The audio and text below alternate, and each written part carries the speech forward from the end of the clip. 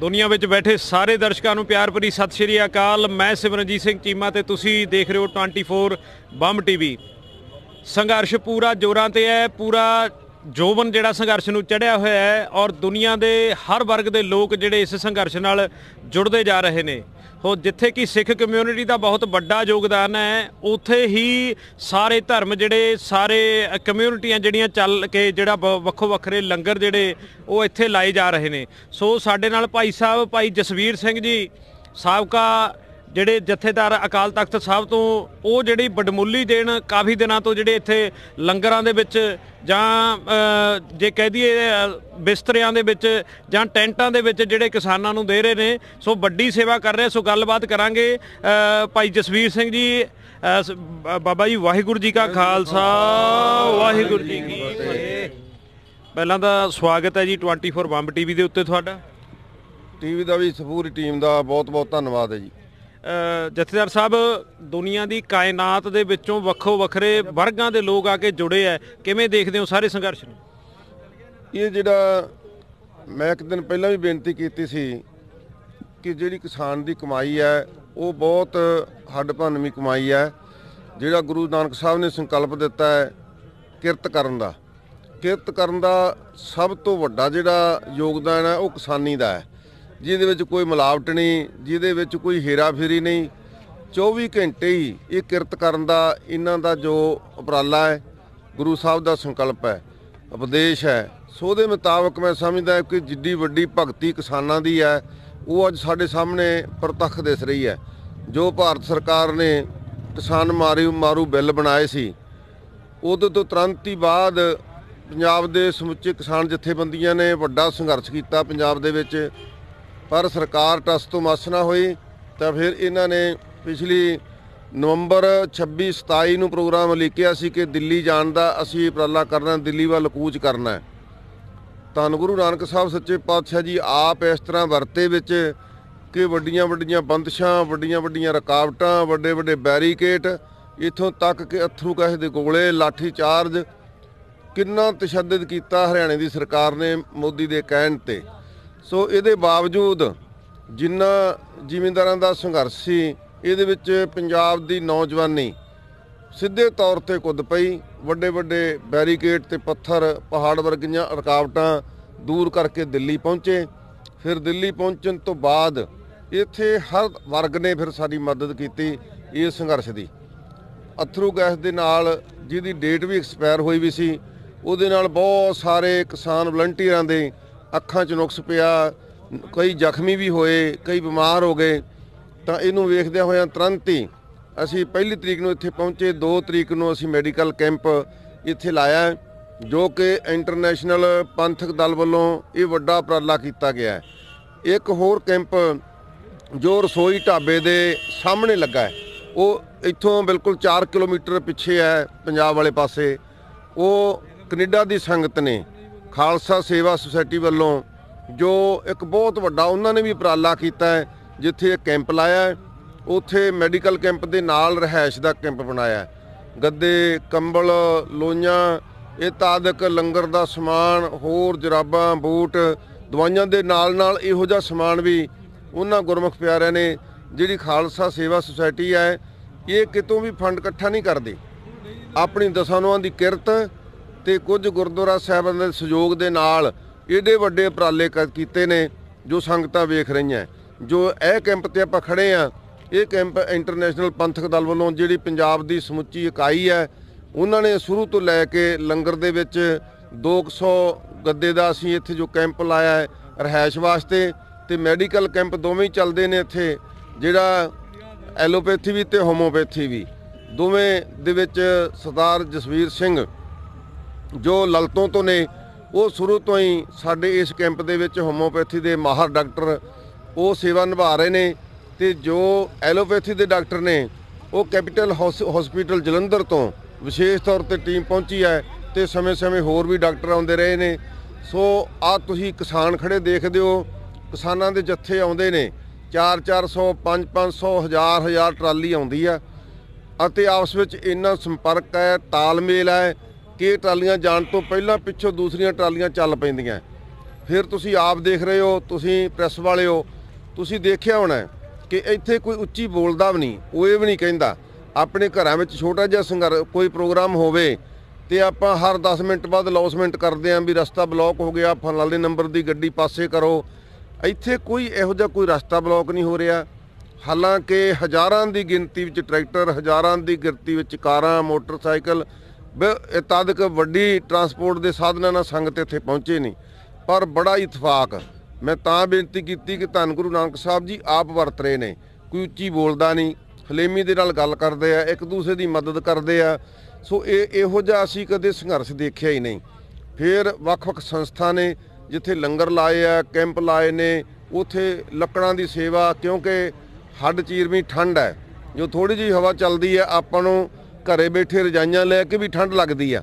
ਪਰ ਕਿਵੇਂ ਰੋਡ ਦੇ ਉੱਪਰ ਹੀ ਬਜ਼ੁਰਗ ਮਾਤਾਵਾਂ ਪਈਆਂ ਨੇ, ਬਜ਼ੁਰਗ ਸਾਡੇ ਪਏ ਨੇ, ਨੌਜਵਾਨ ਜਾਂ ਬੱਚੇ ਪਏ ਨੇ, ਉਹਨਾਂ ਵਾਸਤੇ ਵੱਡੀ ਵੱਡੀ ਪੱਧਰ ਤੇ ਬਾਲਣ ਦਾ ਪ੍ਰਬੰਧ ਧੂਣੀਆਂ ਲਾ ਕੇ ਵੱਡਾ ਵੱਡਾ ਜਿਹੜਾ ਠੰਡ ਦੂਰ ਕਰਨ ਦਾ ਉਪਰਾਲਾ ਕੀਤਾ ਗਿਆ ਹੈ। ਇਸੇ ਤਰ੍ਹਾਂ ਥਾਵਾਂ ਥਾਵਾਂ ਤੇ ਵੱਖ-ਵੱਖ ਸੰਸਥਾਵਾਂ ਨੇ, ਜਥੇਬੰਦੀਆਂ ਨੇ ਵੱਡੇ ਲੰਗਰ ਲਾਏ ਹੋਏ ਨੇ। ਸੋ ਮੈਂ ਇਹ ਗੱਲ ਦੇ ਬਾਵਜੂਦ ਜੋ ਮੋਦੀ ਸਰਕਾਰ ਅੱਜ ਇੱਥੇ ਬੈਠਿਆਂ ਨੂੰ ਸਾਨੂੰ 24 ਦਿਨ ਹੋ ਗਏ।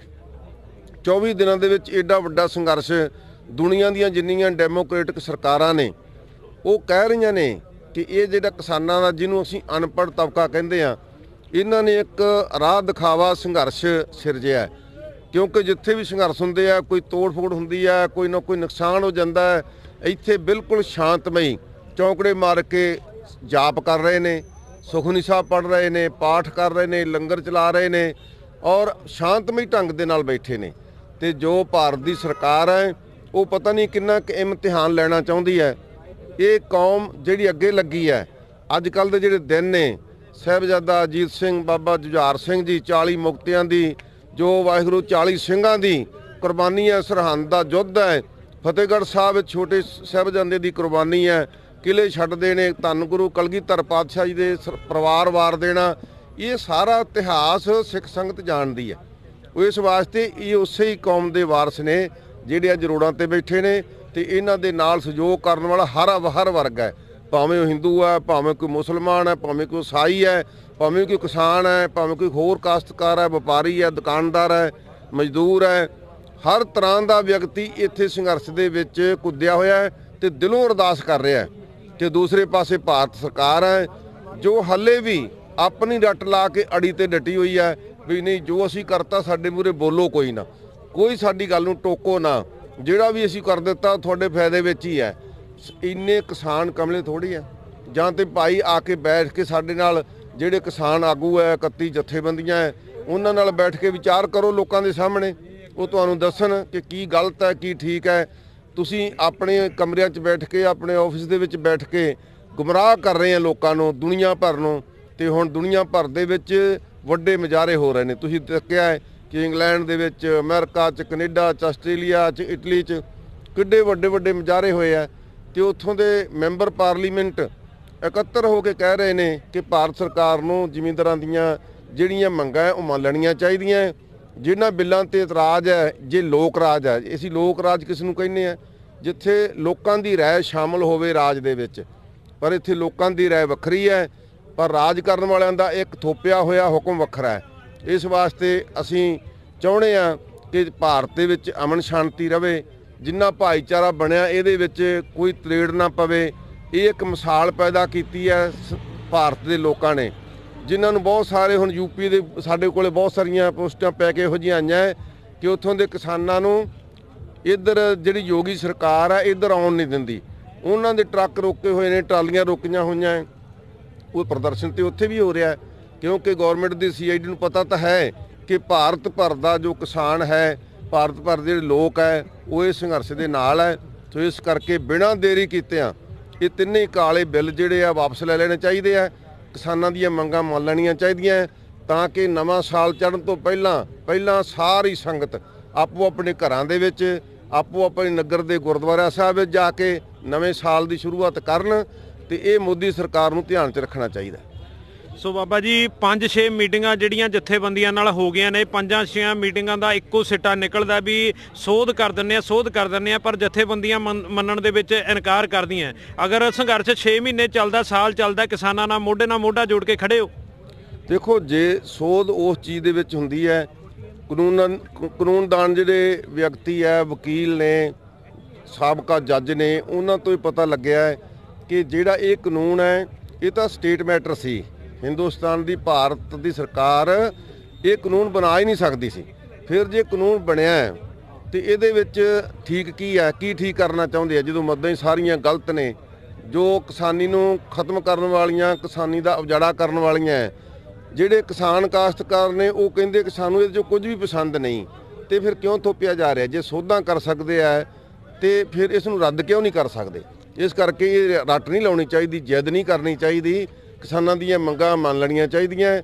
ਕਿਉਂ? ਇਸੇ ਕਰਕੇ ਕਿਸਾਨ ਜਥੇਬੰਦੀਆਂ ਨੇ ਬੜੀ ਸਿਆਣਪ ਦੇ ਨਾਲ ਕਿਹਾ ਕਿ ਮੀਟਿੰਗ ਦਰ ਮੀਟਿੰਗ ਕਰਕੇ ਸਾਨੂੰ ਲੋਕਾਂ ਦੇ ਵਿੱਚ, ਪਬਲਿਕ ਦੇ ਵਿੱਚ ਬਦਨਾਮ ਨਾ ਕਰੋ।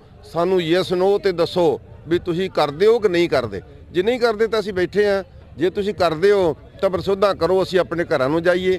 ਬੜੀ ਸਿਆਣਪ ਦੇ ਨਾਲ ਏਕਤਾ ਦੇ ਨਾਲ, ਦ੍ਰਿੜਤਾ ਦੇ ਨਾਲ, ਸਿਆਣਪ ਦੇ ਨਾਲ ਜਥੇਬੰਦੀਆਂ ਵਰਕ ਕਰ ਰਹੀਆਂ ਸਾਨੂੰ ਉਹਨਾਂ ਤੇ ਭਰੋਸਾ ਹੈ, ਮਾਣ ਹੈ ਤੇ ਉਮੀਦ ਹੈ ਕਿ ਹੁਣ ਇੰਨਾ ਲੰਮਾ ਸੰਘਰਸ਼ ਹੋ ਕੇ ਜੋ ਦੁਨੀਆ ਦੇ ਵਿੱਚ ਇੱਕ ਡੈਮੋਕ੍ਰੇਸੀ ਦਾ ਰਾਹ ਦਸਾਇਆ ਹੈ, ਉਹਦੇ ਤੇ ਭਾਰਤ ਸਰਕਾਰ ਨੂੰ ਇਹ ਮੰਨਣਾ ਹੀ ਪਏਗਾ ਔਰ ਮੰਨ ਲੈਣਾ ਚਾਹੀਦਾ ਸੋ ਇਹ ਸਨ ਸਾਬਕਾ ਜਥੇਦਾਰ ਅਕਾਲ ਤਖਤ ਭਾਈ ਸਾਹਿਬ, ਭਾਈ ਜਸਵੀਰ ਸਿੰਘ ਜੀ ਖਾਲਸਾ ਸਾਹਿਬ। ਸੋ ਜਿਨ੍ਹਾਂ ਨੇ ਆਪਣੇ ਬੜਮੁੱਲੇ ਜਿਹੜੇ ਸ਼ਬਦਾਂ ਦੇ ਨਾਲ ਜਿਹੜੀ ਪੂਰੀ ਕਿਸਾਨੀ ਸੰਘਰਸ਼ ਨੂੰ ਆਪਣੇ ਜਿਹੜੇ ਲਫ਼ਜ਼ਾਂ ਦੇ ਵਿੱਚ ਪਰੋਇਆ ਹੈ ਔਰ ਕਿਸਾਨ, ਕਿਸਾਨਾਂ ਹਿੱਤ, ਵਿਰੋਧੀ ਕਾਨੂੰਨ ਨੂੰ ਜਿਹੜਾ ਨਸੀਹਤ ਦਿੱਤੀ ਹੈ ਕਿ ਗਵਰਨਮੈਂਟ ਨੂੰ ਇਹ ਕਸੂ- ਇਹ ਕਾਨੂੰਨ ਜਿਹੜੇ ਉਹ ਰੱਦ ਕਰ ਦੇਣੇ ਚਾਹੀਦੇ ਆ ਸੋ ਦੁਨੀਆ ਦੀਆਂ ਬੰਬ ਖਬਰਾਂ ਵਾਸਤੇ ਓਨਲੀ 24 ਬੰਬ ਟੀਵੀ, ਮੈਂ ਸਿਮਰਨਜੀਤ ਸਿੰਘ ਚੀਮਾ, ਧੰਨਵਾਦ।